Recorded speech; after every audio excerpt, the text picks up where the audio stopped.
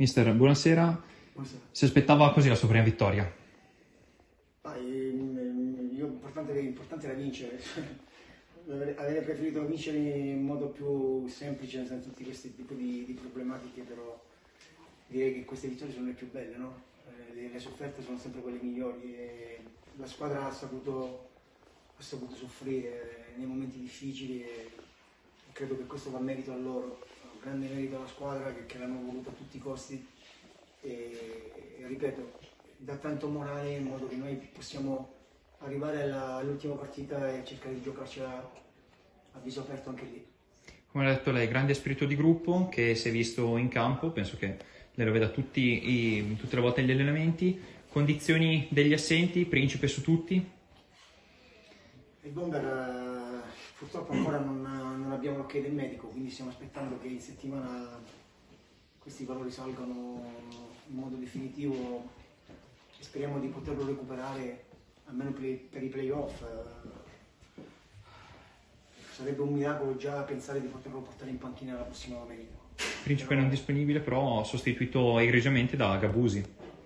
Vabbè, io credo che non... Siamo qui con Mister Puleo al termine di una partita roccambolesca terminata in favore del Pavia. Mister, dalla panchina che emozioni ha provato durante tutto il match, sia quando siete passati in eh, superiorità numerica, sia al momento del rigore, sia agli ultimi minuti? Sì, no, devo essere sincero che venire qui a Pavia ti fa sentire un allenatore importante perché ho visto una tifoseria di altissimo livello, un pubblico molto caldo, quindi c'è stato un po' di emozione iniziale. Poi quando è cominciata la partita tutto passa, si, ti concentri sulla gara. Ho visto che abbiamo avuto un buon approccio, sapevamo che il Pavia parte molto forte, che nei primi minuti è la squadra che fa più gol in campionato. Penso che abbiamo retto bene l'urto, forse nel momento migliore, passati anche con la superiorità numerica, abbiamo ricevuto quel, quel rigore a sfavore che, che ci ha condizionato. Sinceramente ci ha condizionato perché i ragazzi hanno perso un po' la bussola perché non è facile eh, dopo che ti viene decretato un rigore del genere poi ci siamo dovuti ricompattare.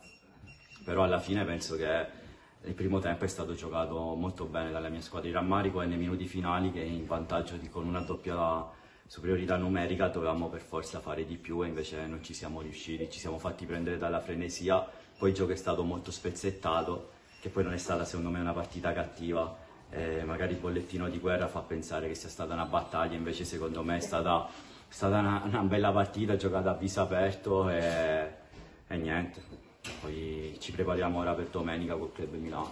Come ha detto lei, episodio del rigore che andrà analizzato al BPVAR sicuramente, partita molto spezzettata, tanti amo- giudizio arbitrale è opinabile, però non siamo qui a parlare di questo. Mister, adesso play out eh, inevitabili dopo il risultato di oggi, cosa può dire ai suoi ragazzi in vista della prossima partita e in caso in vista Ma quando sono subentrato io mi sembra che il calendario recitasse eh, Magenta, oltre Popoghera, Sorbiatese, poi Pavia e Club Milano, quindi erano le cinque squadre che erano in testa alla classifica, quindi si sapeva che il cammino era in salita e che magari si potevano anche disputare i play-out. Stiamo lavorando appunto per migliorare alcune situazioni e ci faremo trovare pronti nello spareggio.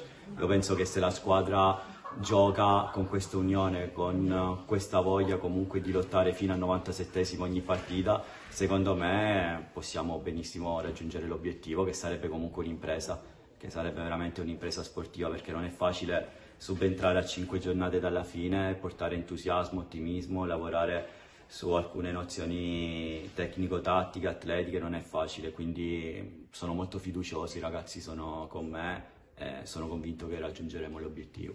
Mister, le auguriamo un buon finale di stagione da tutta la redazione. Grazie, grazie.